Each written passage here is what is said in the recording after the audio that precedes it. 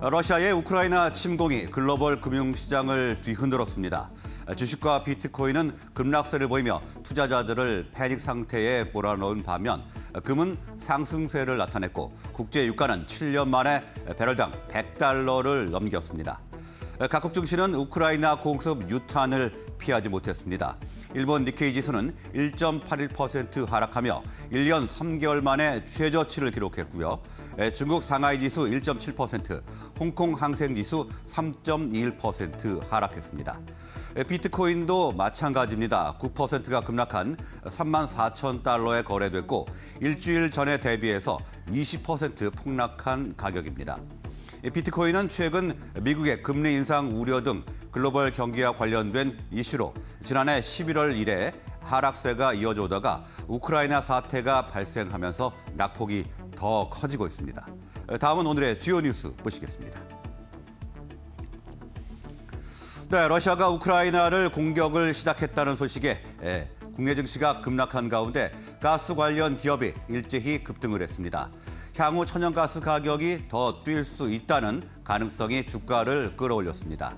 어제 KRX 유틸리티 지수는 3.47% 상승하며 거래를 마쳤는데요. 전체 지수 가운데 유일하게 상승한 지수입니다. 여기에는 한국가스공사, 삼천리 등 가스 관련 종목을 포함하고 있습니다. 러시아는 세계 최대의 천연가스 수출국입니다. 이번 침공으로 미국 등 서방 국가의 러시아 제재가 시작되면 천연가스 가격이 급등할 수 있다는 우려가 확산되면서 국내 가스 관련주로 투자 수요가 몰린 것으로 풀이되고 있습니다. 자, 이런 가운데 방산주는 급등해서 주목을 끌었습니다. 대표적인 방산업체인 빅텍은 23.84%, 한일 단조 22.68, 스페코 17% 상승했습니다. 이 방산주는 러시아와 우크라이나의 전운 고조로 어제 장 초반부터 강세를 보였습니다. 그러다가 장중 푸틴 러시아 대통령이 돈바스 지역에 대한 특별 군사 작전을 승인했다는 소식이 알려지면서 주가는 더 가파르게 올랐습니다. 2014년 러시아의 크림반도 침공을 계기로 서방국이 국내 방산업체로부터 무기 체계를 수입한 전적이 있어서 방산주의 기대감은 커지고 있는 상황입니다. 네, 증시가 글로벌 악재에 흔들리고 있는 가운데 증권주에 주목할 필요가 있다는 주장이 나왔습니다. 국내외 기준금리 인상 가능성으로 인한 증권사 영업 환경의 불확실성이 증대되고 있지만 지난 몇 년간 사업 다각화를 위한 노력들이 올해 견조한 실적으로 실현될 것이라는 분석이 나오고 있어서입니다. 교보증권은 올해 증권업종에 대한 투자 의견을 확대해야 한다고 조언하고 있습니다. 증권주 투자 전략으로는 올해 상반기는 트레이딩 관점에서 접근을 하고 하반기 들어서는 장기적으로 매수하는 전략을 취해야 한다는 분석입니다.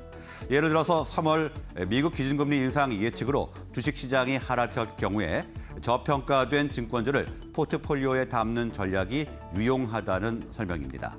업종 내 최선호주로는 미래에셋증권과 삼성증권을 제시했습니다.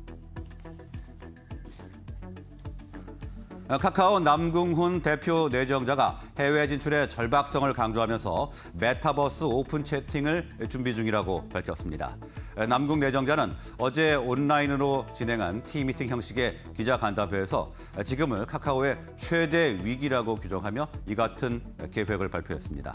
어, 남궁훈 내정자는 위기 돌파를 위한 방안으로 beyond Korea, beyond mobile 전략 강화를 제시했는데 해외 시장 진출과 함께 현행 모바일 위주의 카카오톡 서비스를 넘어선 메타버스 오픈 채팅 등으로 돌파구를 찾겠다는 취지입니다. 남궁 내정자는 현재 카카오톡은 인터넷 연결 기준으로 60에서 70억 인구 중에 1%도 안 되는 지인 기반 네트워크만 커버하고 있는 상황이라며 오픈 채팅은 관심 기반이고 비즈니스 기반이기 때문에 한국 시장을 넘어서 글로벌 향으로도 확산이 용이한 서비스라고 밝혔습니다.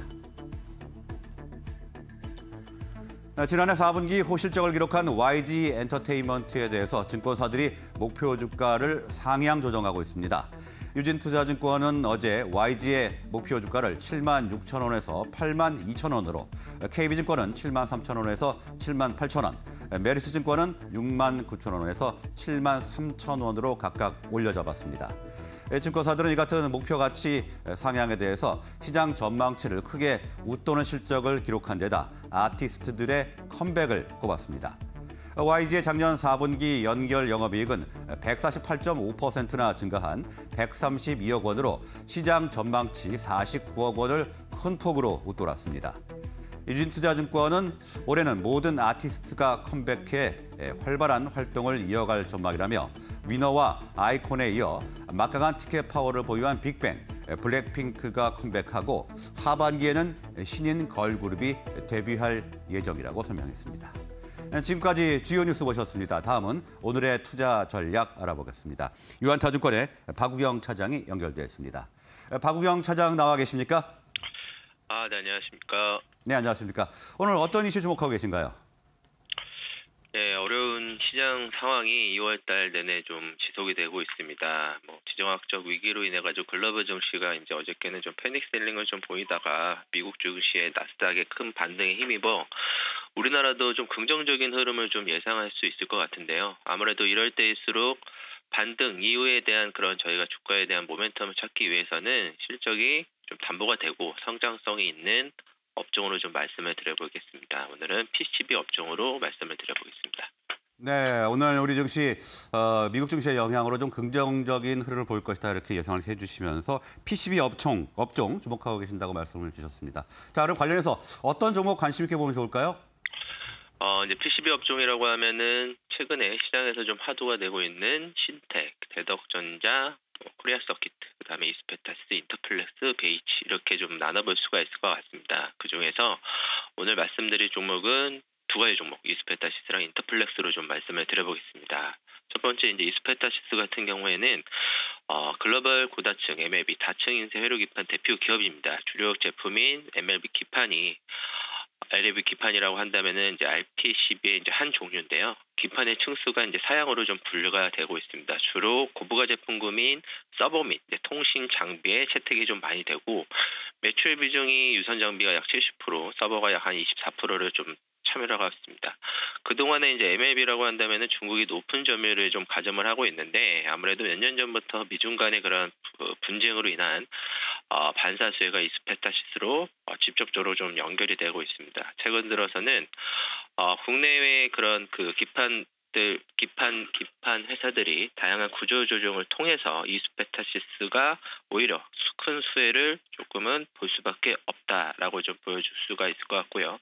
최근 들어서는 이제 자회사인 이수엑사보드의 사업 철수로 인해 가지고 집중적인 통신 장비 중심으로의 전문 PCB 업체로의 전환이 좀 예상이 되면서 만성적인 적자를 기록했던 사업 철수가 작년부터의 그런 기점으로 고정 장세가 좀 예상이 되고 있습니다. 5H 아, 인프라 투자의 확대와 그런 생산 능력의 증설로 인해서 올해 2020년도에 그 22년도에 매출 증가가 높을 걸로 좀 예상이 되고 있고요.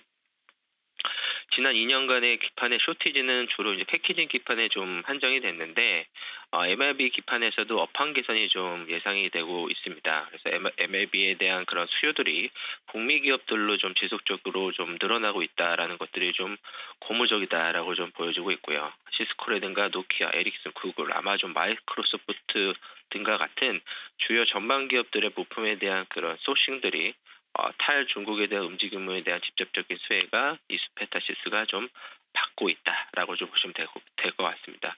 어, 인터넷 최대 속도가 좀 빨라지고 있고 아무래도 사양들이 저버의 서버에 대한 용량들이 좀 늘어나면서 MLB의 층수가 올라가야 어, 그거에 대한 그런 그 집접도들이 좀 놓아지고 있기 때문에 그거에 대한 그 기술 장벽이 높은 이런 기파에 대한 대응이 가능한 업체는 어, 전 세계적으로 한 세네 개 업체밖에는 안 되는데 국내에서는 동사 이스페타시스가 가장 좀 유일하다라고 좀 보여주 있을 걸로 좀 보여주고 있고요.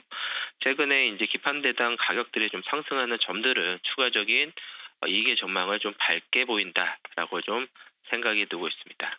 네, 두 번째 종목은 이제 인터플렉스를 좀 말씀을 드리겠습니다. 인터플렉스는 어, 연성 PCB라고 할 수 있는 디지타이저, 스마트폰이라든가 태블릿 등 IT 기기에서 펜 도구를 움직이면 디지털 신호를 좀 전환해주는 부품을 어, 판매한다라고 좀 보여주, 보여주, 보, 말씀드릴 수가 있을 것 같은데 최근에 그 상반기에 갤럭시 S22가 어, 시장이 좀 예상했던 것보다 훨씬 더 많은 어, 그 판매 매출을 좀 기록하다 보니까 어, 이거에 따른 그 직접적인 그 수혜가 될 수 있는 S펜 내자에 내자에 대한 직접적인 수혜가 될 수 있는 어, 디지타이저 부품들에 대한 그 판매 확대가 좀 예상이 되고 있고요.